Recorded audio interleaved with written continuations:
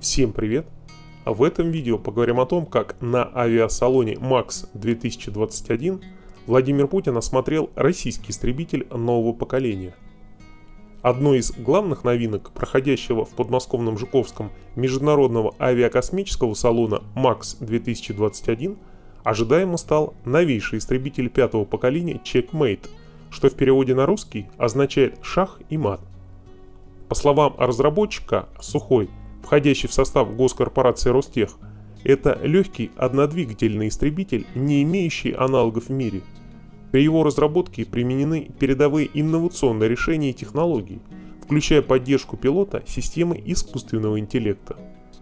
Новый легкий российский истребитель, с учетом своих габаритов, обладает очень низким показателем заметности для радаров противника – уникальными боевыми возможностями и совокупностью лучших в классе характеристик дальности полета, максимальной скорости, маневренности, грузоподъемности и экономичности. Максимальная скорость полета Checkmate составляет 2400 км в час, а дальность его полета превышает 3000 км.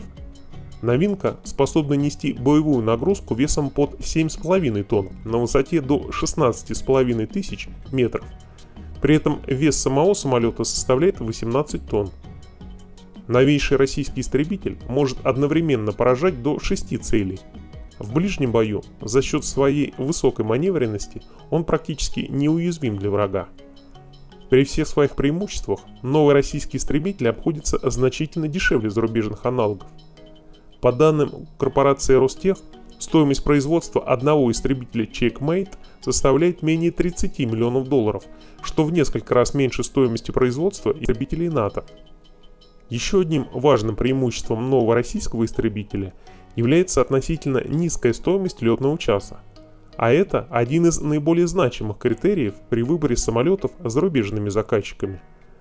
Для сравнения, средняя стоимость летного часа в Checkmate – примерно в 7 раз ниже стоимости летного часа американского истребителя пятого поколения F-35. Новый российский истребитель оборудован оптической системой для ведения прицельного огня по условному противнику на земле и в воздухе. Самолет эффективен при выполнении оптической и радиотехнической разведки на местности. В свой первый полет истребитель пятого поколения Checkmate отправится в 2023 году – а наладить его промышленное производство Ростех планирует в 2026. По словам вице-премьера России Юрия Борисова, новинка уже вызвала повышенный интерес среди зарубежных покупателей из Индии, Вьетнама и стран Северной Африки, готовых приобрести уже около 300 новых истребителей Checkmate.